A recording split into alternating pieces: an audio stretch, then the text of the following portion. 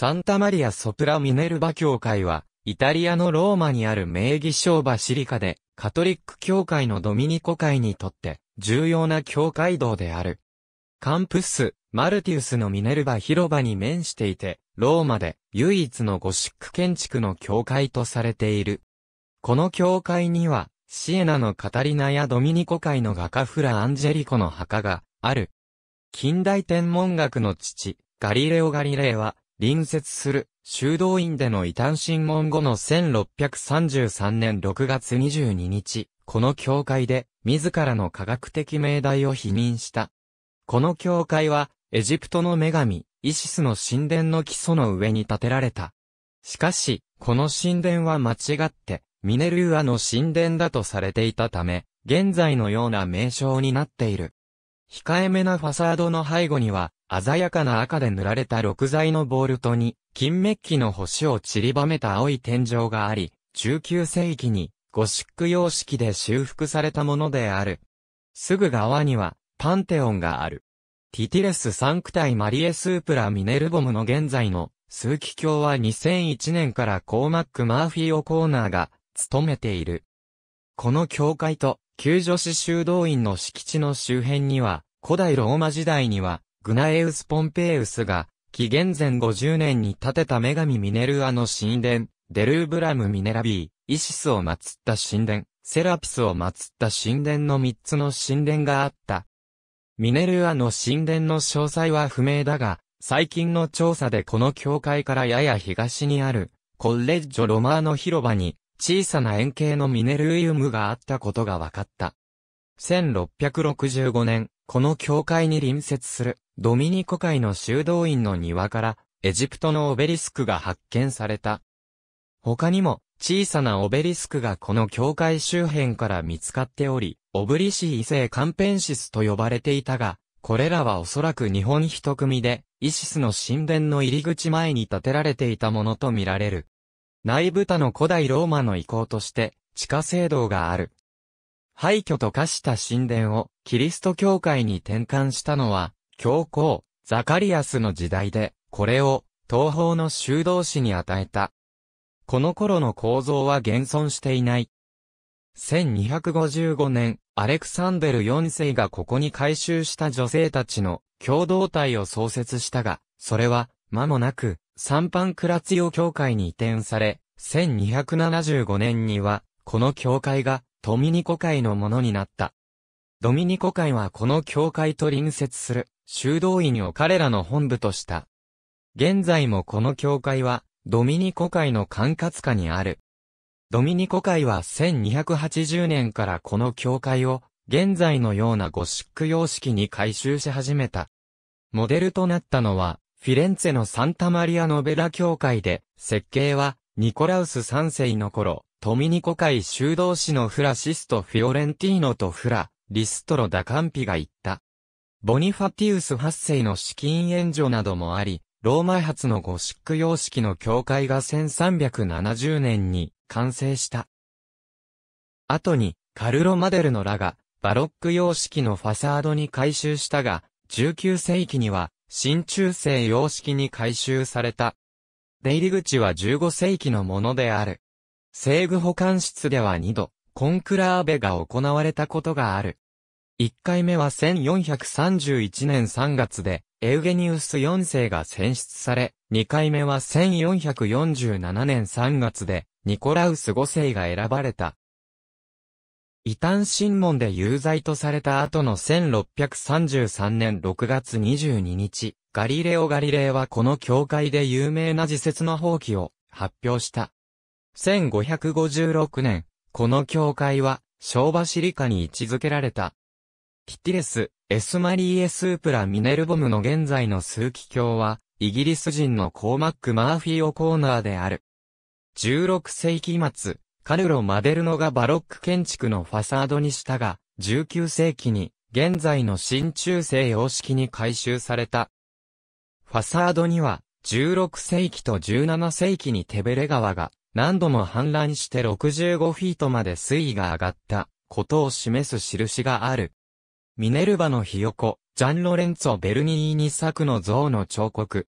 ローマにある13基のオベリスクのうちの一つの土台になっている。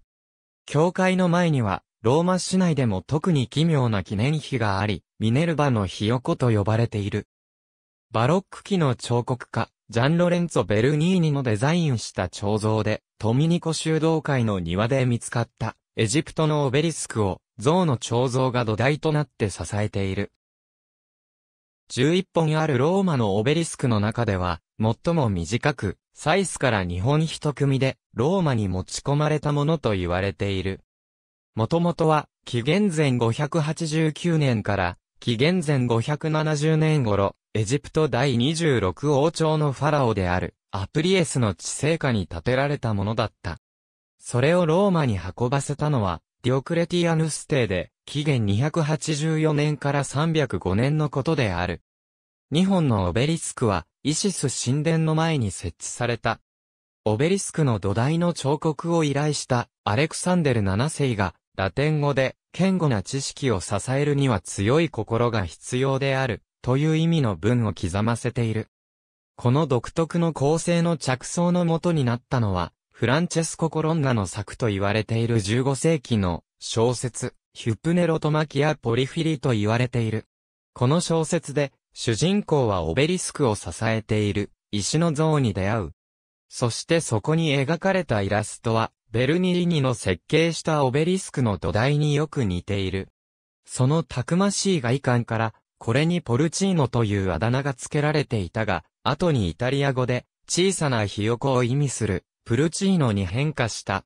これは、このオベリスクが短いことを表しているとも言われている。また、ドミニコ会が修道院に入る、持参金を用意できない貧しい女性のための寄付を集める、事前活動を行っており、毎年この広場に行列を作ったことと関係があるとも言われている。先頭アーチで覆われた新郎は極めてゴシック的であり、ローマでは珍しい。この13世紀の新郎に、カルロ・マデルノがバロック様式の要素を加えたことで、部分的に印象が変化した。ステンドグラスの窓の多くは19世紀のものである。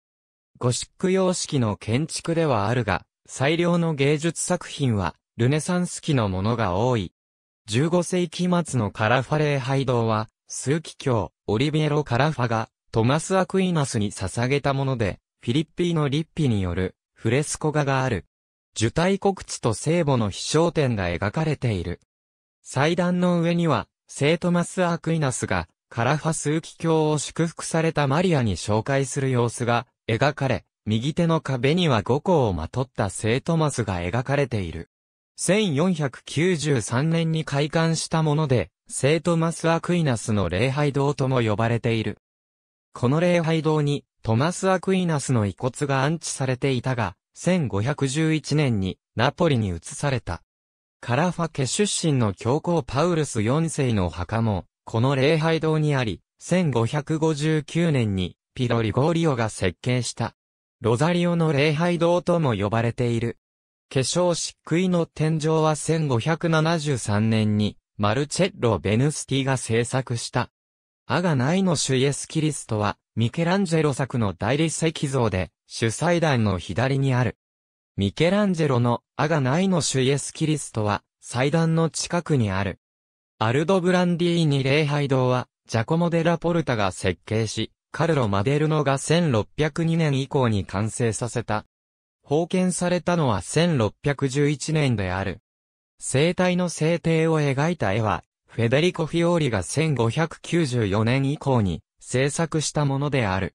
クレメンス8世の両親サルバストロ・オールド・ブランドネと、ルイーザ・ダッチの記念碑は、ジャコモ・デ・ラポルタの手による。教皇庁が承認した世界初の生態配慮の結社は、この礼拝堂で創設されたもので、イグナチオ・デロ・ヨラも初期の一員の一人だった。シエナのカタリナはここに埋葬されている。ただし頭部だけは、シエナのサンドメニコ教会にある。1380年に彼女が亡くなった部屋は、西具保管室の裏に位置していて、1637年に復元された。内装を当時のままに再現するという近代の博物館によく見られる方式の先駆けである。しかし、アントニアッツォ・ロマーノ作のフレスコは現存していない。ルネサンス前期の有名な画家フラ・アンジェリコは隣接する修道院で亡くなり、この教会に埋葬された。同様に、パウルス4世、メディチ家のレオ10世、クレメンス7世もこの教会に埋葬されている。サンジョバンニベ・フィオレンティーニ教会が完成するまでこの教会がフィレンツェ共和国の国民教会だったため、トスカーナ地方の聖職者や貴族や裕福な市民の墓が多数存在する。ピエロディ、コジモデ・メディチの失脚を画策した人味のディオティサルビ、ネローニーも1482年に、ここに埋葬されている。